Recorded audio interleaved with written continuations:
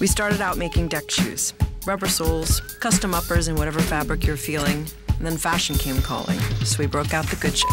Italian leathers, A-list designers, fresh, clean, simple, but never basic.